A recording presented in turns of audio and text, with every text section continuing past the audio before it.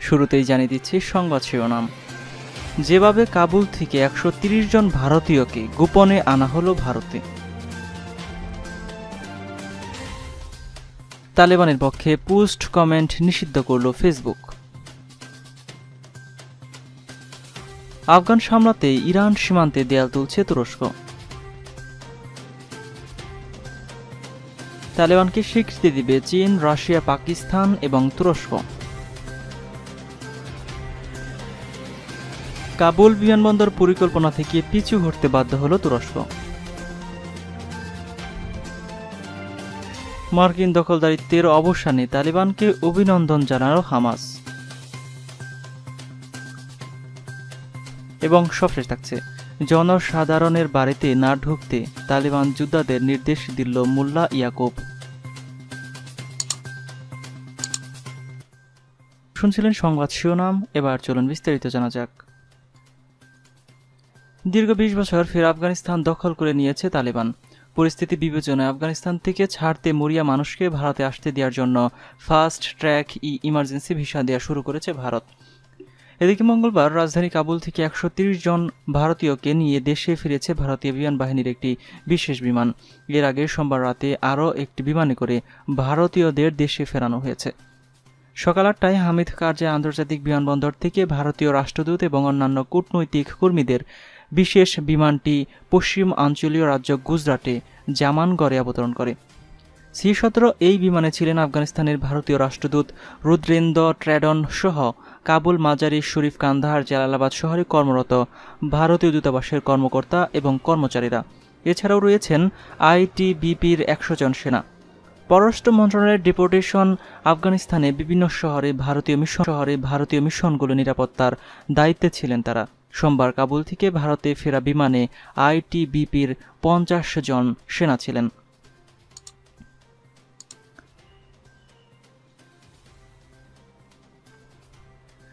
নিজদের প্ল্যাটফর্মে তালিবানপন্থী যে কোনো পোস্ট এবং কমেন্ট নিষিদ্ধ করেছে ফেসবুক প্রতিষ্ঠানটি জানিয়েছে, তারা একদল আফগান বিশেষজ্ঞকে এই সংক্রান্ত সব পোস্ট পর্যবেক্ষণ এবং প্রয়োজনে প্ল্যাটফর্ম থেকে সরিয়ে দেওয়ার দায়িত্ব দিয়েছেন। তালিবানকে একটি সন্ত্রাসী গোষ্ঠী মনে করায় এই পদক্ষেপ নেওয়া হয়েছে বলে জানিয়েছে বিশ্বের জনপ্রিয় সামাজিক যোগাযোগ মাধ্যমটি। তালিবান বহু বছর ধরেই সামাজিক যোগাযোগ মাধ্যম ব্যবহার করে নিজেদের নিজেদের মধ্যে বার্তা আদান প্রদান করে থাকে বলে জানা গেছে। সম্প্রতি সশস্ত্র গোষ্ঠীটি দ্রুত গতিতে আফগানিস্তান দখলে নেয় এই সংক্রান্ত তথ্য প্রচার কীভাবে নিয়ন্ত্রণ হবে তা নিয়ে চ্যালেঞ্জের মুখে পড়েছে প্রযুক্তি প্রতিষ্ঠানগুলো। ফেসবুকের এক মুখপাত্র বিবিসিকে বলেন, যুক্তরাষ্ট্রের আইনে তালিবানকে সন্ত্রাসী সংগঠন করা হয়েছে এবং আমরা আমাদের বিপজ্জনক সংগঠন নীতির আওতায় তাদেরকে নিষিদ্ধ করেছি। এর অর্থ হলো, আমরা তালেবানের পক্ষ থেকে বা তাদের মাধ্যমে পরিচালিত অ্যাকাউন্টগুলো সরিয়ে দিচ্ছে এবং তাদের প্রশংসা, সমর্থন এবং প্রতিনিধিত্ব পুরোপুরি নিষিদ্ধ করছি। তিনি বলেন, আমরা আফগানিস্তানের একদল বিশেষজ্ঞকে নিয়োগ করেছি যারা দড়ি এবং পোস্ত ভাষাভাষী এবং স্থানীয় প্রেক্ষাপট সম্পর্কে অবগত। তার প্ল্যাটফর্মে উদ্ভূত, অদ্ভুত সমস্যাগুলো চিহ্নিত করে আমাদের সতর্ক করতে সাহায্য করছে।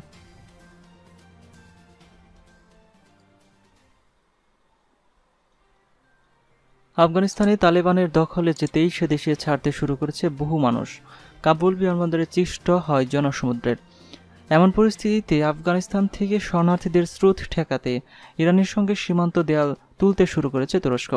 এ ব্যাপারে ব্রিটিশ সংবাদ মাধ্যম বিবিসির একটি প্রতিবেদনে বলা হয়েছে, পাঁচ কিলোমিটার লম্বা একটি দেয়াল নির্মাণের কাজ শুরু হয়েছে। তবে ইরান সীমান্ত জুড়ে দুইশো পঁচানব্বই পঁচানব্বই কিলোমিটার দেয়াল নির্মাণের পরিকল্পনা রয়েছে তুরস্কের। উল্লেখ্য, আফগানিস্তানের নিয়ন্ত্রণে নেওয়ার পরে তালিবান এখন আন্তর্জাতিক স্বীকৃতি লাভের চেষ্টা করছে। সংগঠনটি এবার দেশ পরিচালনা করতে চায় আন্তর্জাতিক সম্প্রদায়ের সঙ্গে সুসম্পর্ক রেখে।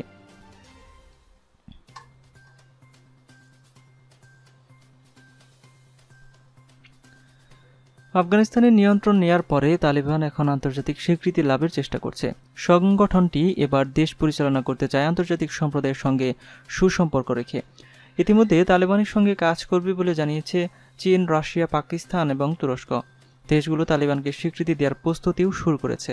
যদিও এর আগে ব্রিটেনের প্রধানমন্ত্রী বরিস জনসন তালেবানকে স্বীকৃতি না দেওয়ার জন্য আন্তর্জাতিক মহলকে অনুরোধ করেছিলেন।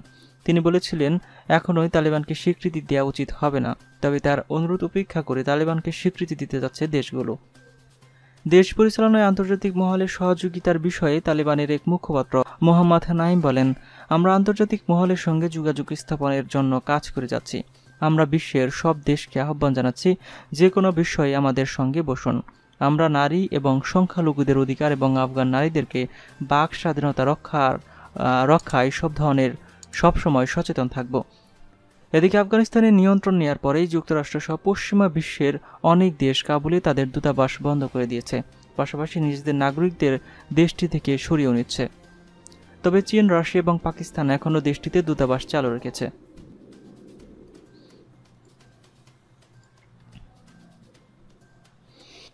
তালেবানরা আফগানিস্তানে নতুন সরকার গঠন করলে তাকে বিশ্ব সম্প্রদায় স্বীকৃতি দেবে কিনা তা নিয়ে চলছে জল্পনা। এরই মধ্যে তুরস্ক জানিয়েছে, তালেবান চাইলে সহায়তা দিতে প্রস্তুত রয়েছে আঙ্কারা। আফগানিস্তান থেকে ন্যাটো সেনা প্রত্যাহারের পর কাবুল বিমানবন্দরের নিয়ন্ত্রণ নেয়ার পরিকল্পনাও বাদ দিয়েছে দেশটি। তুর্কি সূত্রে বরাত দিয়ে সোমবার রয়টার্স এই খবর জানিয়েছে।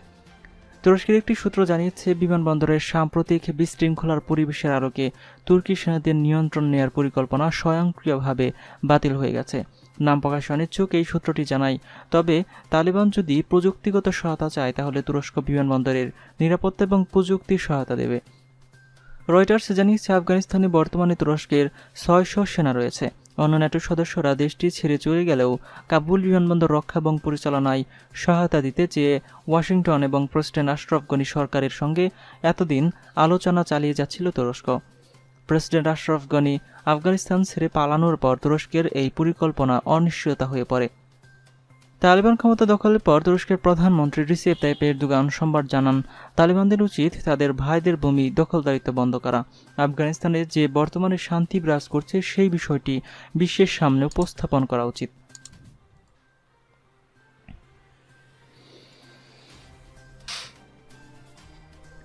আফগানিস্তান থেকে যুক্তরাষ্ট্রের দখলদারিত্ব অবসানের ফলে তালিবানকে অভিনন্দন জানিয়েছে ফিলিস্তিনের স্বাধীনতাকামী সংগঠন হামাস।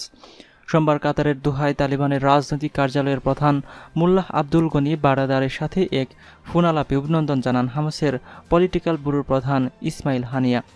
ফুনালাপে হানিয়া বলেন, আফগানিস্তান থেকে যুক্তরাষ্ট্রের দখলদারিত্বের অবসান সকল দখলদারদের পতনের সূচনা বিন্দু যার মধ্যে অন্যতম ফিলিস্তিনের উপর ইসরায়েলি দখলদারিত্ব। অপরদিকে তালিবান নেতা মোল্লা বারাদার ফোনে ফোন করার জন্য ইসমাইল হানিয়ার প্রতি কৃতজ্ঞতা জানান। একই সাথে তিনি ইসরায়েলি দখলদারিত্বের বিরুদ্ধে ফিলিস্তিনি জনগণের প্রতিরোধ আন্দোলনের শক্তি, বৃদ্ধি এবং বিজয়ের আশা প্রকাশ করেছেন। এর আগে দীর্ঘ দুই দশক আফগানিস্তানের দখলদারিত্বের পর মার্কিন প্রশাসন তালেবানের সাথে চুক্তির জেরে আফগানিস্তান থেকে নিজেদের সেনা প্রত্যাহার শুরু করে। মে মাস থেকে সৈন্য প্রত্যাহার শুরুর পর আফগানিস্তানের নিয়ন্ত্রণ নিতে থাকে তালেবান। মার্কিনীদের সাথে চুক্তি অনুসারে আফগানিস্তানের শান্তি প্রতিষ্ঠায় স্থানের শান্তি প্রতিষ্ঠায় সরকারের সাথে তালেবানের সমঝোতায় আসার কথা থাকলেও কোনো সমঝোতাতে পৌঁছাতে পারেনি দুই পক্ষ। সমঝোতায় না পৌঁছানোর জেরে তালিবান আফগানিস্তান নিয়ন্ত্রণের অভিযান শুরু করে।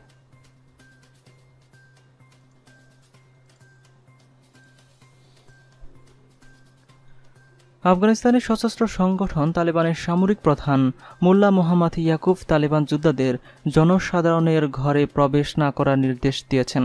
মঙ্গলবার একটি অডিও বার্তায় এই নির্দেশ দেন তিনি। অডিও বার্তায় তিনি বলেন, কেউই বিশেষ করে কাবুলে অন্য কারও ঘরে প্রবেশ করতে পারবে না। পাশাপাশি কোনো ব্যক্তির কাছ থেকে অন্য কেউ গাড়ি সহ বিভিন্ন বাহন নেওয়ার বিষয়ে নিষেধ করেন তিনি। এর আগে আফগানিস্তানের সরকারি কর্মকর্তা কর্মচারীদের জন্য সাধারণ ক্ষমা ক্ষমা ঘোষণা করে কাছে, কাজে যোগ দেওয়ার জন্য তালিবানের পক্ষ থেকে আহ্বান জানানো হয়। অপরদিকে নারী কর্মকর্তা কর্মচারীদেরকেও তাদের নির্ধারিত দায়িত্ব পালনের জন্য কাজে যোগ দেওয়ার আহ্বান জানান। দীর্ঘ দুই দশক আফগানিস্তানে যুক্তরাষ্ট্রের আগ্রাসন সালের ফেব্রুয়ারিতে কাতারের দোহায় একটি শান্তি চুক্তির মাধ্যমে আফগানিস্তান থেকে মার্কিন বাহিনী প্রত্যাহার করতে সম্মত হয় যুক্তরাষ্ট্র। এর বিপরীতে আফগানিস্তানের শান্তি প্রতিষ্ঠায় অংশ নিতে সম্মত হয় তালেবান।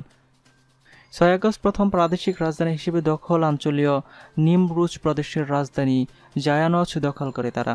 জায়ানজ নিয়ন্ত্রণে নেওয়ার দশ দিনের মাথায় রোববার কাবুল দখল করে তালিবান যোদ্ধারা।